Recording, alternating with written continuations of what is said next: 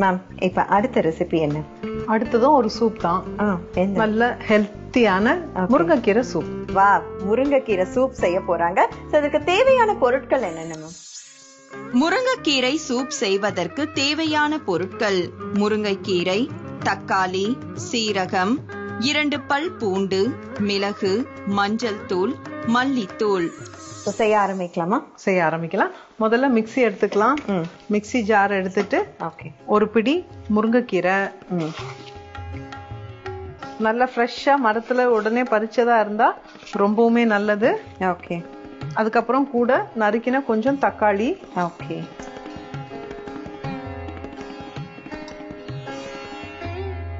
ஒரு பிஞ்ச் சீரகம். ம். சீரகம் வந்து இந்த சூப்ல வந்து ரொம்ப கம்மியா போடணும். ஏன்னா அது வந்து கசப்பு தன்மையை அதிகமா கொடுத்துரும். ஒரு ஒரே ஒன்னு இல்ல ரெண்டு பல்லு பூண்டு. ஓகே. அப்புறம் ஒரு ஹாஃப் டீஸ்பூன் அளவுக்கு மிளகு. ஸோ ஃப்ரெஷ்ஷாக பறித்த முருங்கைக்கீரை அதோட சின்ன சின்னதாக கட் பண்ணி வச்ச தக்காளி அதுக்கப்புறம் கொஞ்சம் மிளகு சேர்த்துருக்காங்க. பூண்டு ஒரு மூணு பல் சேர்த்துருக்காங்க. அண்ட் கொஞ்சமாக ஜீரகம் ஆட் பண்ணியிருக்காங்க இப்போ வந்து ஒரு ஒரு டீஸ்பூன் அளவுக்கு மல்லித்தூள். ஓகே. ஒரு கால் டீஸ்பூன் மஞ்சத்தூள். இந்த சூப்பும் ரொம்ப ஈஸி. கோல்டு ஒரு சில டைம் நமக்கே கோல்டு வந்துடும். வீட்ல யாருக்கும் ஒன்றும் செய்ய முடியாது. அப்போ நம்ம எப்போ சீக்கிரமா ரெடி ஆகுது இந்த சூப் அடிச்சு குடிச்சோம்னா நம்ம கோல்டெல்லாம் சீக்கிரமா பறந்து போயிடும். தலைவலி காய்ச்சல் எல்லாம் கூட சீக்கிரமா போயிடும். இப்போ மிக்ஸி எடுத்து வச்சுக்கலாம். ஓகே. ஜாரை மேல போட்டுட்டு கொஞ்சமா தண்ணி ஊத்தலாம். ஏன்னா அதெல்லாம் நல்லா அரைஞ்சு வரணும். கொஞ்சமா தண்ணி ஊத்திட்டு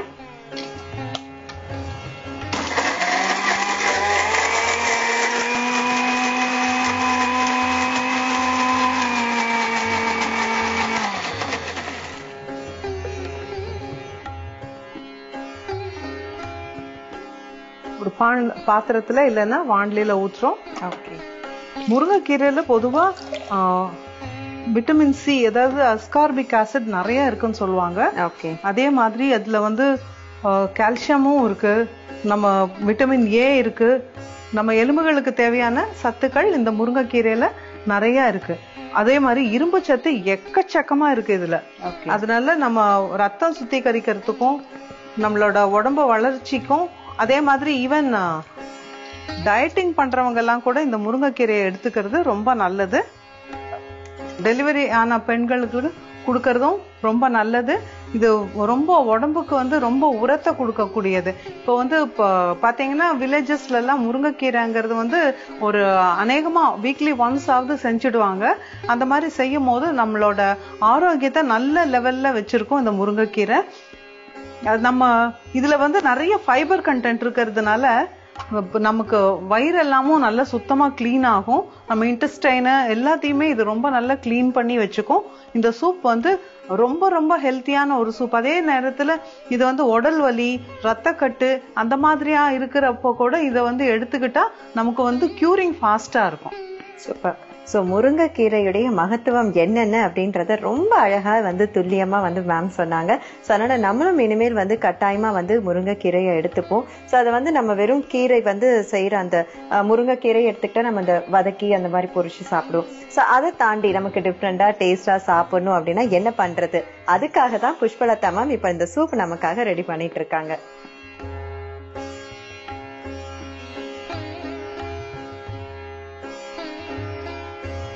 மேம் இப்போ முருங்கைக்கீரை சூப் எந்த லெவல்ல இருக்கு? அது அவ்வளவுதான். நம்ம அரைச்சாச்சு. அதை தண்ணி தேவையான அளவுக்கு தண்ணி ஊத்தி இதுல கொதிக்க வச்சிருக்கோம். இப்பவும் கூட கொஞ்சம் இன்னும் கொஞ்சம் மஞ்சள் தூள் மட்டும் லைட்டா போட்டுக்கலாம். அதுக்கப்புறம் தேவையான அளவுக்கு உப்பு. ரொம்ப எளிமையான ஒரு முறை. ஸோ இந்த மாதிரி ஆரோக்கியமான உணவுகள் எல்லாம் வந்து எப்படி சமைக்கலாம் அப்படின்னு நம்ம வந்து யோசித்தாலே வந்து நமக்கு வந்து இப்படி ஒரு சில பல ஐடியாஸ்லாம் வந்து கிடைக்கும். எல்லாம் நம்ம வீட்டில் இருக்கக்கூடிய அன்றாடம் நம்ம யூஸ் பண்ணக்கூடிய பொருட்கள் தான். ஸோ அதை வைத்து எப்படி நம்ம இன்ட்ரெஸ்டிங்காகவும் டேஸ்டான ஹெல்தியான உணவை சமைக்க முடியும் அப்படின்னு யோசிச்சாலே ஏதாவது ஒரு டிப் கிடைக்கும். அதை போட்டு எல்லாம் கலக்கிறது தானே.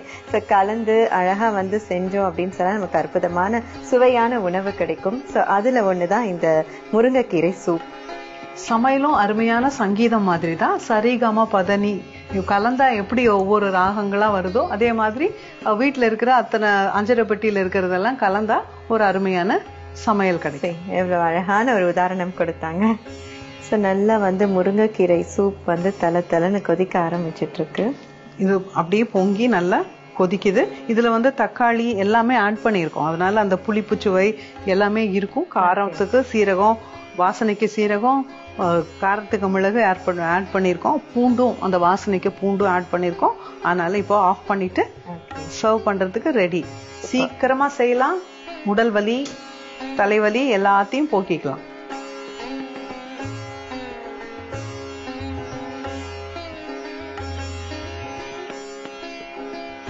இப்போ மணக்க மணக்க முருங்கைக்கீரை சூப் சட்டியில தயாராயிடுச்சு. இத வந்து இந்த ஐட்டங்கள் எல்லாம் நம்ம வந்து மண் சட்டியிலேயே கொதிக்க வச்சு எடுத்தோம்னா இன்னும் ரொம்ப அற்புதமான சுவையோடவும் இருக்கும் வாசனையோடவும் இருக்கும். இப்போ முருங்கைக்கீரை சூப் உங்களுக்காக ரெடி ஆயிடுச்சு. Thank you so much ma'am so முருங்கைக்கீரை சூப் அழகா மணக்க மணக்க ரெடி பண்ணி கொடுத்துட்டாங்க. ஸோ இப்போ என்னுடைய சுவை எப்படி இருக்குன்னு பார்க்கலாம். வச்சு பாருங்க. தேங்க்யூ மேம் ருசிக்கலாம் வாங்க.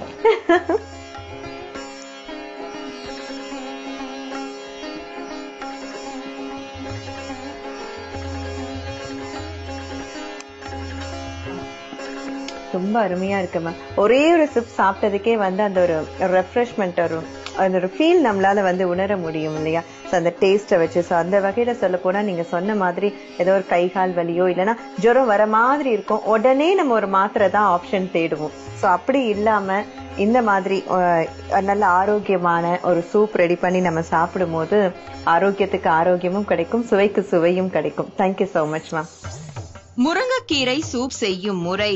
மிக்சியில் முருங்கைக்கீரை தக்காளி சீரகம் பூண்டு மிளகு மஞ்சள் தூள் மல்லித்தூள் தண்ணீர் சேர்த்து அரைத்துக் கொள்ளவும். கடாயில் தண்ணீர் ஊற்றி அரைத்து வைத்த கீரையை சேர்த்து நன்கு கொதிக்க வைத்து இறக்கினால் சூடான சுவையான முருங்கைக்கீரை சூப் தயார். ஓகே வீவர்ஸ் இந்த முருங்கைக்கீரை சூப் எப்படி வைக்கிறதுன்னு புஷ்பலதா அவர்கள் ரொம்ப அழகா சேர்ந்து காட்டினாங்க. சோ நம்மளும் இனிமேல் உடல் வலியோ இல்லைன்னா ஜலதோஷம் வந்தா மாத்திரைகளை தவிர்த்துட்டு இந்த மாதிரி அழகா ஆரோக்கியமான உணவை சமைத்து சாப்பிடலாம். இப்படி ஆரோக்கியமான உணவை நம்ம சமைச்சு சாப்பிட்டாலே நோயெல்லாம் நம்மளை விட்டு விலகி ஓடி போயிடும்.